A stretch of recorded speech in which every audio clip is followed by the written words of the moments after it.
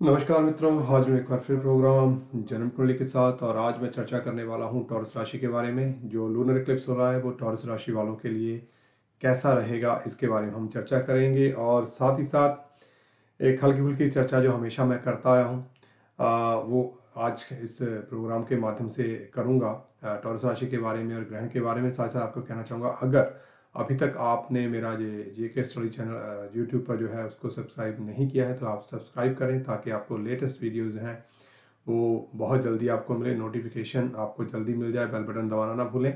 और अब मैं बात करूँगा टॉरस राशि की तो एक कुंडली मैं आपको दिखा रहा हूँ टॉरस राशि की, जिस समय ग्रहण होगा, उस समय टॉरस राशि में ग्रहों की पोजीशन क्या है, उसके बाद हम आगे बढ़ेंगे। और फिर धीरे करके सारी आस्पेक्ट के ऊपर चर्चा करेंगे। तो देखिए कुंडली आपकी स्क्रीन के ऊपर है टॉरस राशि। जिस समय ये ग्रहण होगा चंद्रमा, यानी कि जिसको ग्रहण हो रहा है, वो अष्टम घर में और राशि लॉर्ड जो है, उस समय वीनस जो है, वो लगन में ही होगा या राशि में ही होगा, जो अपने आप में एक बहुत अच्छी बात है। लेकिन हमें एक बात नहीं भूलनी चाहिए कि राशि लॉर्ड जो है, वो सिक्स हाउस का भी लॉर्ड है। तो किस तरह के फल होंगे? सिक्स हाउस के फल ज़्यादा मिलेंगे राशि के फल ज़्यादा मिलेंगे, या चंद्र ग्रहण जो अष्टमेश के साथ अष्टम भाव में बैठा हुआ, उसके मिलेंगे। तो हम इन सब चीज़ों को वन बाई वन समझने की कोशिश करते हैं।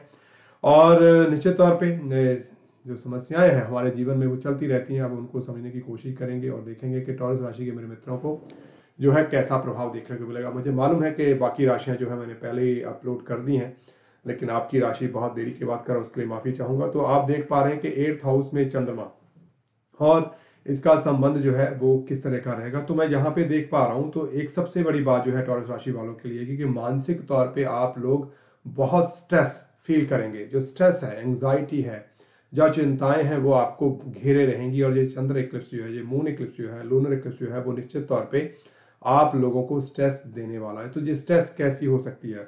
तो अब जब हम देखते हैं तो स्ट्रेस का सबसे बड़ा कारण हो सकता है आपके बच्चे। स्ट्रेस का दूसरा सबसे बड़ा कारण हो सकता है आपका प्रॉपर्टी घर के अंदर की कुछ चीज़ें जो आ, सही नहीं है जिसमें किस तरह का कोई ब्लॉकेज है या कुछ रेनोवेट करना है आपको जो है बिल्डर नहीं मिल पा रहा है कुछ ना कुछ ऐसा। और या फिर कोई झगड़ा जो है आपके सामने आ सकता है। तीसरी इंपॉर्टेंट चीज़ जो मैं जहाँ पे देख पा रहा हूँ, वो है आपका कामकाज। काम को लेकर आप लोग काफ़ी परेशान हो सकते हैं, ऐसी संभावना है।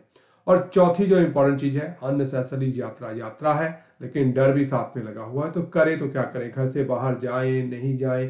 जो इस तरह की स्थितियाँ हैं, इस समय आपकी कुंडली पर चंद्र ग्रहण की वजह से आपको देखने को मिलेंगी। और ये सारी की सारी स्ट्रेस जो है, आपको खुद अपने शोल्डर्स के ऊपर उठानी पड़ेगी, इस चीज़ का ध्यान रखिएगा, क्योंकि चीज़ें जो है, वो कहीं ना कहीं चिंता दिखा रही है, इस बात में कोई दो राय नहीं है। तो मैं सभी मित्रों को कहना चाहूँगा, जिनकी टॉरस राशि है टॉरस मून साइन है सन साइन है, या असेंडेंट साइन है, क्योंकि ये भी सवाल आ रहा है कि कौन सा हम देखें, आप किसी तरह से भी टॉरस को बिलोंग करते हैं।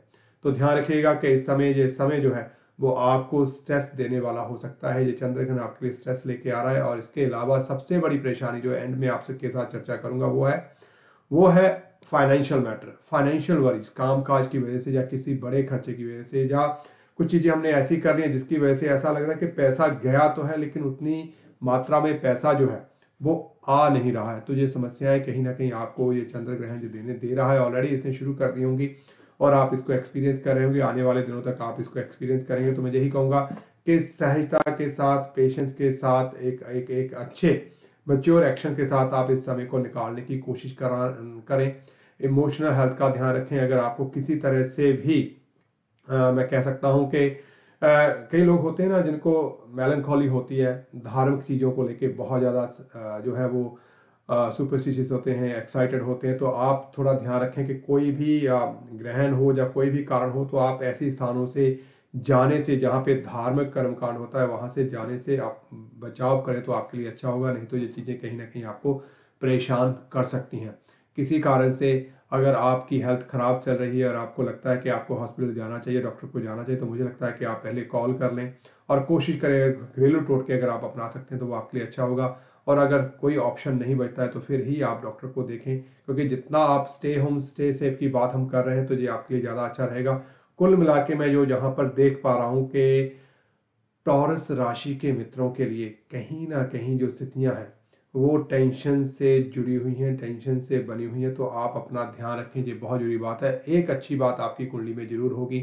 इस ग्रहण काल के दौरान के जुपिटर का चेंज हो चुका होगा, यानी कि जो जुपिटर आपकी कुंडली में अष्टम घर में उस समय होंगे, जो already thirty of sorry thirty of June को हो चुके होंगे, वो फिफ्थ ऑफ़ जुलाई को बहुत ही ज़्यादा डिग्रीज की वजह से वो इतना इम्पैक्ट नहीं डाल पाएँगे तो इसका मतलब है कि आप कहीं ना कहीं आपकी हेल्थ को रिकवर करने में कामयाब हो जाएँगे। लेकिन उन लोगों को जो चिंता रहेगी, जिनको किसी तरह से भी जो वज़न बहुत बढ़ रहा है डायबिटीज़ है जिनको वाटर सोर्सेज जैसे आँखों से पानी आना है फीवर जैसी बीमारियाँ हैं एलर्जिक रिएक्शन होते हैं, जिनको यूरिन जो है वो बार बार पास करने की आदत है, उनको ज़रूर ध्यान देना होगा।